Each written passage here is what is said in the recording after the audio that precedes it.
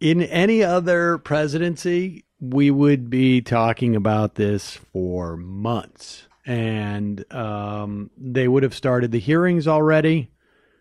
Uh, and I mean, and of course, I'm talking about the Donald Trump's relationship uh, with China, and it's really not so much his relationship with China as it is to his relationship to his ability to make money. If Barack Obama had tweeted out last Sunday as president of the United States, uh, the Chinese company ZTE, this is a Chinese telecom company owned by, I think, I don't know, 30% by the Chinese government. Um, if Barack Obama had tweeted out, real shame about ZTE having all these problems, having to shut down, a lot of jobs lost, told the Commerce Department to get on it and get them their jobs back, essentially. I mean, it just never mind with any of the backstory behind it. Just the, the idea that if Barack Obama had said anything remotely close to that, um, the the the how apocalyptic our society would become is is really is honestly I, I it's it's beyond the imagination. Now, if you realize that the reason why ZTE was having problems with jobs is because that very same Commerce Department that Donald Trump had tasked with fixing it or salving, salvaging their jobs, that very same Commerce Department had put uh, restrictions on ZTE because they had broken the embargo with Iran and I believe North Korea. Mm-hmm. They also um, were found by our intelligence agencies to be uh, installing things in the supply chain of phones that make their way into American hands. Um, basically, mechanisms for which um, the these phones could be hacked and tracked um, across the board. I mean, they had been. This was a punishment from the Commerce Department. That's why this company went under, uh, and why these jobs were lost is because it was literally a punishment or a warning. Uh, like we can't deal with these people. There's a real problem here. uh, and then, and then that's not even the, the, the, the craziest part of the story. I'll let you take it from here uh, because it was revealed that there was another element, another, like the backstory to the backstory.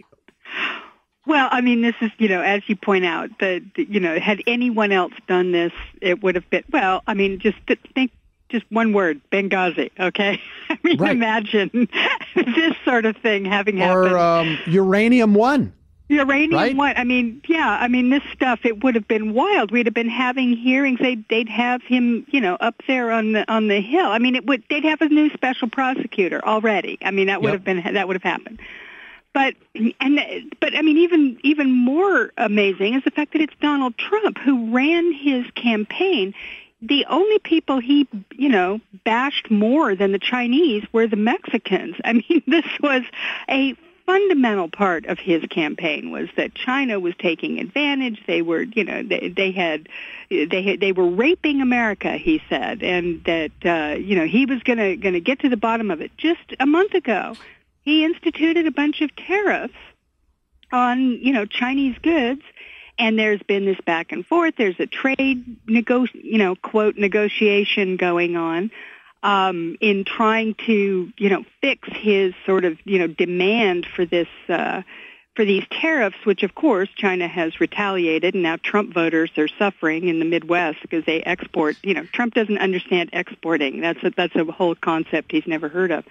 In any case, that, that will, he put out this tweet on Sunday, and everybody, myself included, I'm going, what what the hell was this? And we're all tweeting back and forth, going, what's he talking about? What's going on here? what is this?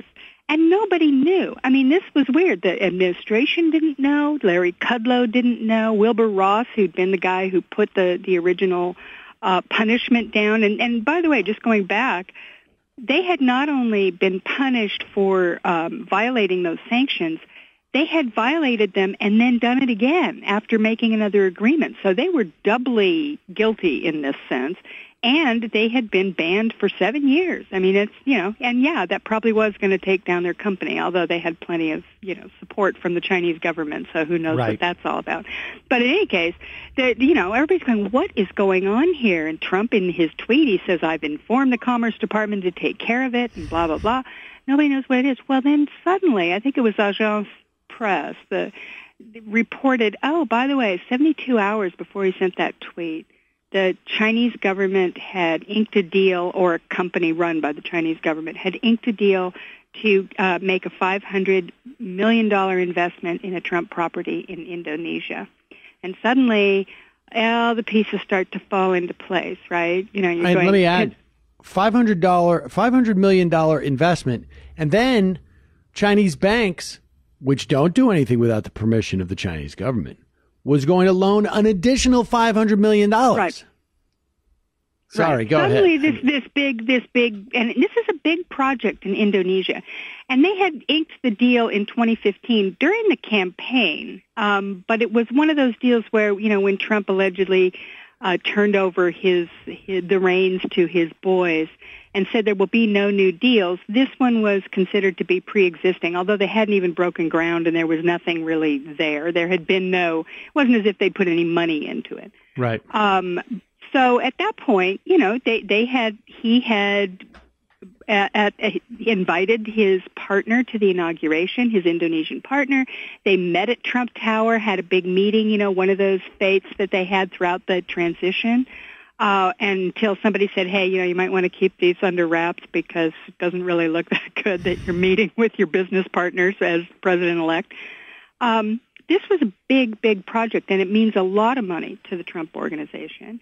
And suddenly, in the midst of what they're calling trade negotiations between China and the United States, in the midst of this you know, bromance allegedly between Xi and Trump, out of the blue comes this this, you know, reversal on an American policy that was, by the way, very important to, to Xi. And I think we can figure out why, because it's basically an espionage.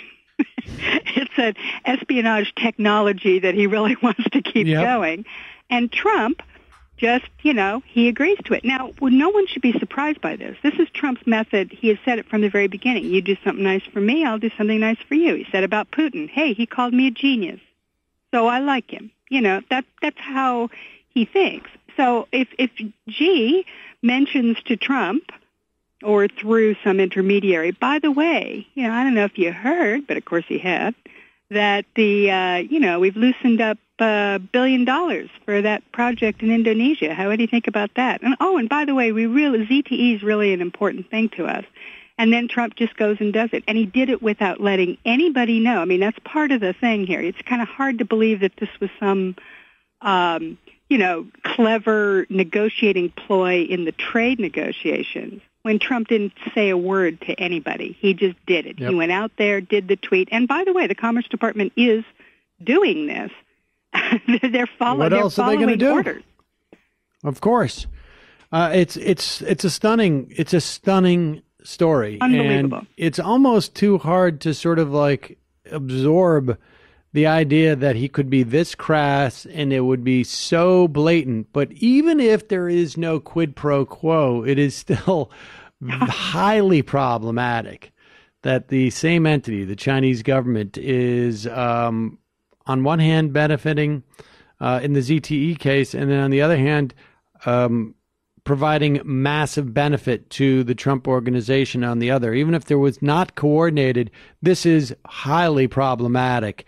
Uh, but we got to take a quick break, uh, Digby. When we come back, we'll talk a little bit more about how Donald Trump is uh, destroying the federal government and uh, where the latest is on the, the various investigations surrounding Trump Inc. We'll be right back. I'm Sam Seder. This is Ring of Fire Radio.